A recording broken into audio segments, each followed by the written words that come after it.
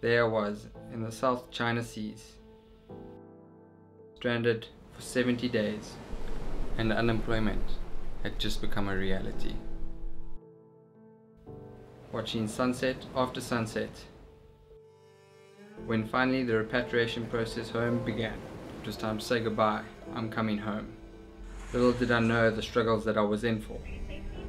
This would be my only meal in 36 hours.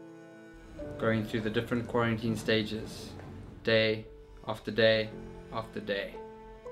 The loneliness that came with quarantine. The airports, busy and noisy as you once knew them, was no more.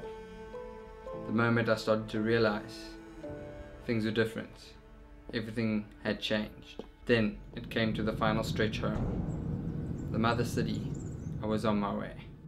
The reality started to kick in, seeing all the shops closed, quiet streets, the empty streets, the police around every corner, watching, waiting. The home I'd once known was gone. The days ahead were not what I anticipated. Looking out, wondering when everything was going to go back to normal. Then one night, it hit me. I think I might have known it all along. I was motivated by this. I was determined. The answer was right in front of me. As now I knew, with change comes new opportunities, which meant that there are new stories out there that need to be told. So, time to create is now.